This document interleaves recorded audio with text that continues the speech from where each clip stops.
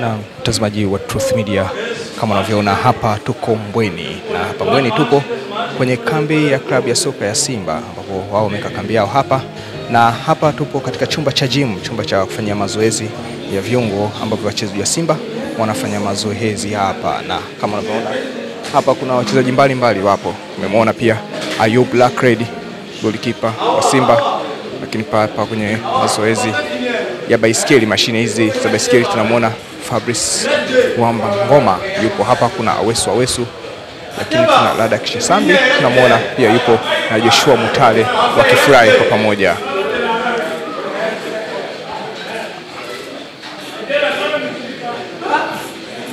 Hapana, sio Joshua Mutale, tunaona kuna Eli Mpanzo pamoja na Lada Kichasambi, maana Mpanzo na, na, na, na, na Joshua Mutale ya, vimo vyao vinafanana kidogo kama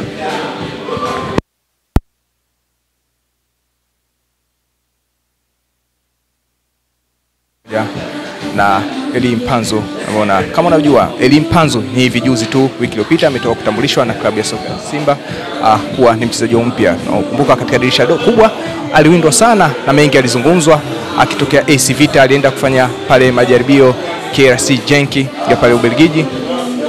lakini hatimaye amekuja ndani ya Simba, lakini tunaambiwa kuwa usajili wake utakamilika ndani ya dirisha dogo Januari, ndio ataanza kuichezea rasmi klabu ya soka ya Simba, lakini hatujajua katika michuano ya kimataifa ataweza kuichezea klabu ya soka ya Simba.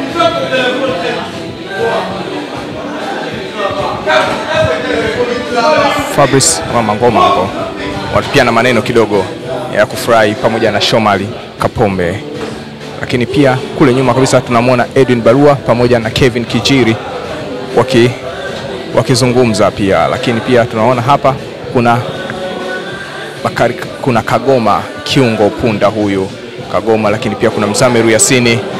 uh, lakini pia tunamwona Valentin Nouma abeki mpya huyu, lakini pia kuna Hussein Karabaka wakifanya mazoezi haya ya kibaiskeli katika kambi hii ya Simba.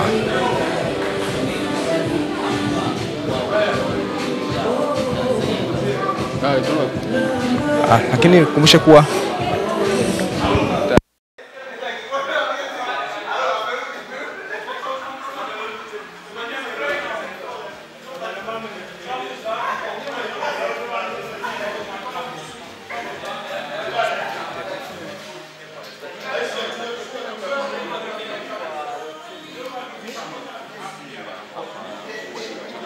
um, naja, Chimagao. Ah,